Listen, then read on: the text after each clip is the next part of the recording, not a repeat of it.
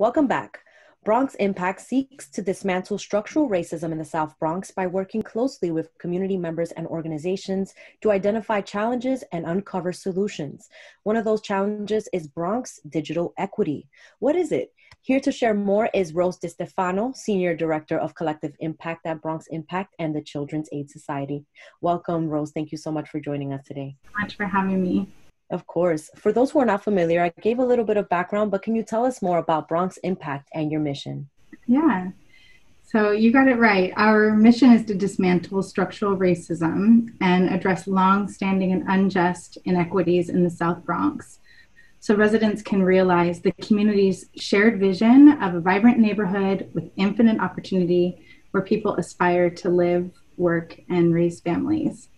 And we do this by bringing together Bronx residents, nonprofits, businesses, and government officials to implement solutions to increase social mobility in historically divested communities.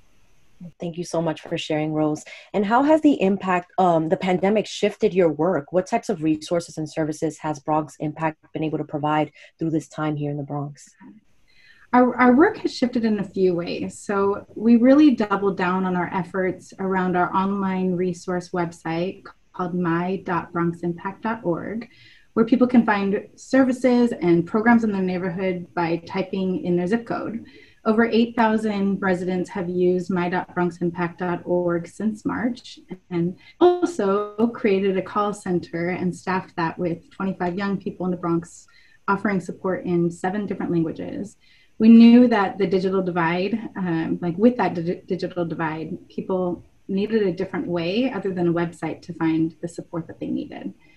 Uh, we also we we host a lot of convenings, and so rather than you know focusing these convenings on the very long term issues, we started to host convenings that were more focused on emergency relief.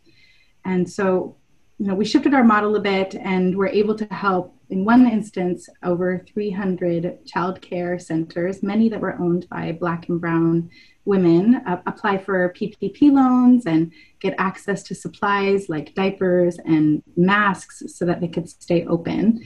Um, we created a letter for essential workers who were traveling after curfew. Remember when there was a curfew? Oh, yes. uh, because people were being fined for for traveling from their jobs um, from you know a lot of essential workers who are working at hospitals service agencies. Uh, right now and and summer we've been working with schools to implement a more holistic healing centered approach for students parents and teachers knowing that you know especially as mental health has become more and more prevalent um, in low income communities. This is something we really want to see show up in the schools. And we've also played an advocacy role with the Mayor's Office of Food Policy, the Department of Education, and the administration, administration of Children's Services to correct policies that had unintended consequences negatively impacting Bronx families. Uh, the last thing I'll mention is about the Jerome Avenue Revitalization Collaborative, also known as JARC, which is led by our partner Jobs First NYC. Um, they've launched a hub for employers and workers to get the support they need to stay in the neighborhood around the Jerome Avenue corridor, despite the rezoning. And are trying to, and I think successfully now, shifting some of the wealth that's coming into that community so that it stays in the neighborhood. So now that we're out of emergency mode, I mean, we're still in a crisis in this pandemic, but it's not as rapid, I think, as, as it was in March, April, and May. We are focusing again on those long term systems change um, issues and examining our different systems, identifying root causes, and hosting community conversations to reimagine a future for the Bronx. So, again, so that realize uh, residents can realize the community's shared vision of prosperity and vibrancy in their neighborhood. Absolutely. Thank you so much for sharing, Rose, all the services and resources that are being offered to families during these tough times and how we're all still sticking together even throughout the pandemic and, you know, all the difficulties around politics and all that good stuff in the Bronx. Um, Rose, I wanted to explore one topic that you brought up. Um, families and children in the Bronx have long faced something called the digital divide or tech disparity. Can you help us define these terms and why the Bronx is so affected by this? Sure. So the digital divide speaks to a lack of connectivity and tech literacy. The problem is that 40% of New York City households lack the combination of home and mobile broadband, including 18% of residents, that's 1.5 million people, who lack both. This is a data point from the New York City Internet Master Plan that was released earlier this year. When we're talking about tech disparity, we're looking at how those 1.5 million people don't have a strong enough connection to sign on to Zoom classes, sign up for telehealth appointments, access city eviction prevention portals, sign up for unemployment benefits, or even find food on things like the Get Food NYC website that the city launched during COVID. In the Bronx, there are over 265,000 people who are not connected to the internet and are at a clear disadvantage. It's not just that people can't connect, it's that their inability to connect is it's creating a scenario where they are more at risk than those who are food secure, have stable homes and stable jobs. It only makes sense, no? Um, and recently, the Bronx Borough President Ruben Diaz Jr. held a Tech Equity Day of Action. Um, he stated that out of 80, uh, 200,000 students in the Bronx, 84,000 received um, tech devices for remote learning. So that leaves out 116,000 kids. You know, they don't have access to these devices. Just to put it in perspective, these are only families that have responded to the surveys. It's not counting everyone else, no? Um, just tell us a little bit more about what took place that day, Rose, and how Bronx Impact is spearheading the initiatives with other organizations and the BP's office in order to get help and not only bring up the issues, but provide solutions as well. Absolutely. Yeah, well, one thing I'll say is that we are not moving alone. We have to work together and we are collaborating deeply with our other partners that are leading in this work. Um, and so the Bronx Borough President's Office invited Bronx Impact, South Bronx Rising Together, The Point, uh, and the Bronx Community Foundation's Tech, Tech Equity Coalition, which is led by DreamYard, uh, to host an event and, and bring light to the Bronx digital divide. We know that this has been an issue, you know, since March. It's been an issue even before March, but it's it's it's been too long now, and we're still not seeing the changes that we need in kind of urgency and um, immediacy. So the message uh, is that we have to keep fighting for equitable access to education so that all children, regardless of their race, their gender, geography, and socioeconomic status, have the same opportunity to learn.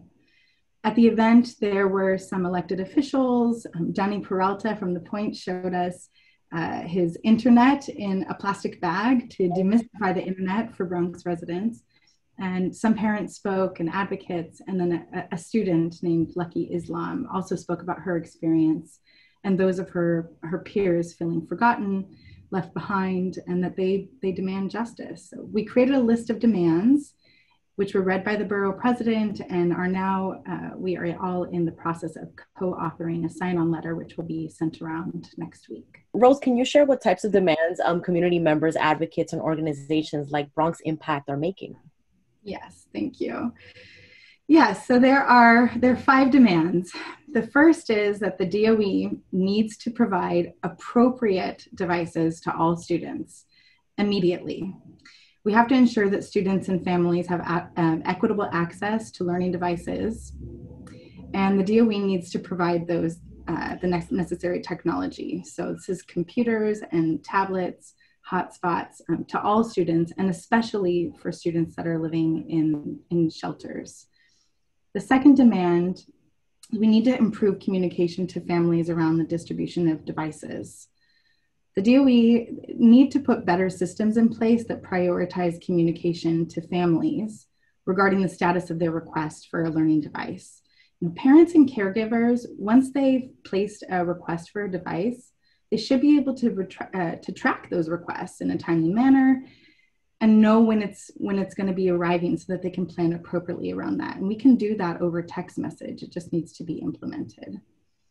We need to hold internet service providers accountable also known as isps so isps they've become gatekeepers to student success without affordable and accessible internet access students are unable to complete assignments and, and to learn, making it nearly impossible for them to be successful academically. ISPs must provide pathways for subsidized, free, or affordable internet access, and the city needs to hold those ISPs accountable. The fourth demand is that we need to institutionalize technology assistance for students and families it's not effective or efficient for families to wait for long periods of time on a call line or to wait for the DOE personnel to return their call reg- regarding technology assistance. DOE schools need additional funding and support to provide their own technology assistance to teachers and to families.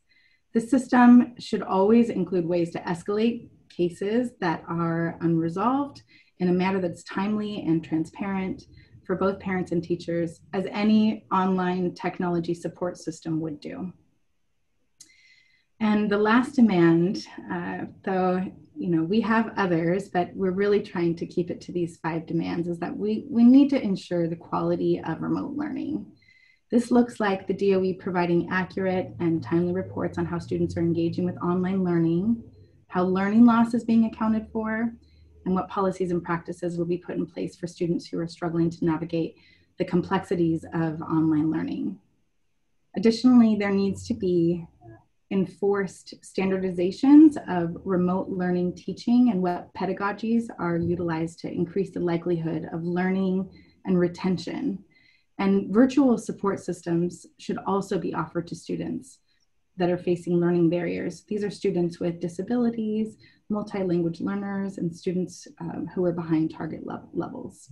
So we really need to come together and, and fight for our children because all children deserve to learn, uh, regardless of their, their race, gender, geography, or socioeconomic status. Um, that, that should not determine their ability to access quality education and opportunities. Absolutely. Thank you so much, Rose, for sharing. And let's say someone is tuning in, how can they stay connected with you and learn more about Bronx Impact as well as, as Bronx Digital Equity here in the community? Sure.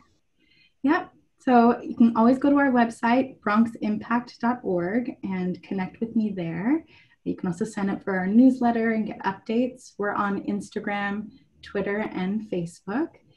And in if you're looking for resources or programs or just support, um, you can always visit the my.bronximpact.org website or our call center, which is 646 762 7483. And I know Bronx Impact is also going to show that number as well. But we would love to connect with you and, and support.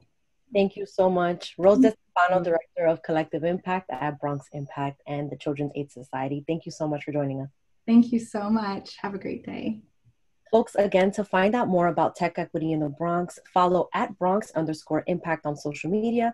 Additionally, if you need food, My Bronx Impact is here to help. Call the number that Rose provided, 646 762 7483. It's right at the bottom of the screen. Or you can visit bronximpact.org for more information and updates. We'll be right back.